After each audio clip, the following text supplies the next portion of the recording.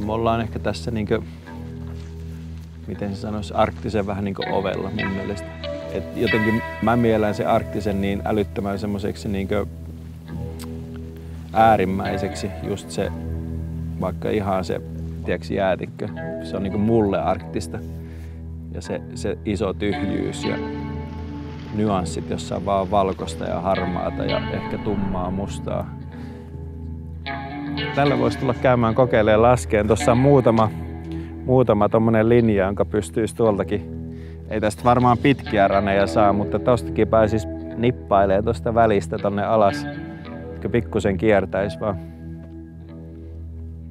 Mä oon venerakentaja alkuperäiseltä koulutukselta, niin ennen jopa niin huonekalupuusipän koulutusta mä oon tykännyt tehdä juttuja, jotka liukuu luonnossa. Niin tehnyt purjeveneitä ja merikajakkia ja surffilautoja ja alamäki skeittilautoja ja nyt sitten ollaan tehty noita putskulumilautoja ilman siteitä. Että mä pyrin semmoisiin aika pelkistettyihin niin muotoihin monesti, monessakin jutussa, mitä mä teen. Vähän semmoista ehkä tietynlaista hengenheimolaisuutta monen niin japanilaisen jutun kanssa tunnen ainakin itse. Ja se tietynlainen vanha suomalainen talon, talonpoikaistyyli, semmoinen pelkistetyt toimivat jutut on ollut niin kuin, ne on tosi lähellä aina niin mulla sydäntä. Vähän laihaa tuli.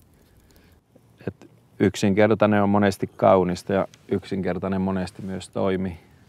Mutta siihen yksinkertaisuuteen pääseminen vie aikaa.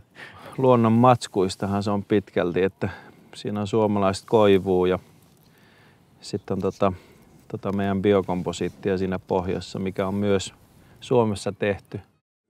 Syy käyttää luonnonkuitua just yksi se, että paljon kivempi käsitellä, vaikka nämä pölisee vähän, niin tämä on tämmöistä raakaa huopaa, niin ei se paljon haittaa. Tuoksuu ihan hyvälle ja varmaan maistuukin hyvälle.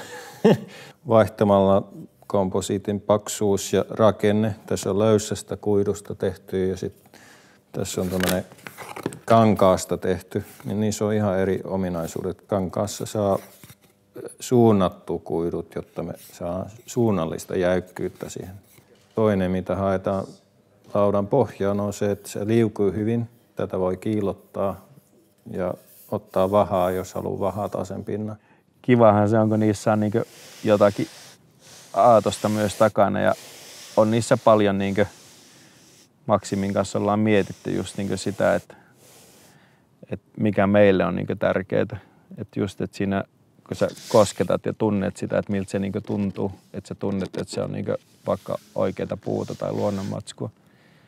Että se on itselle niin tosi tärkeä fiilis. Ja aika moni muu on sanonut, että se on just kiva, että se eroaa siinä heti semmoisesta niin tehdas- tai massavalmisteisesta, että et siinä on se tietynlainen käsityön tuntu ja leima heti, kun sä niin kosket siihen. Tätä, tota,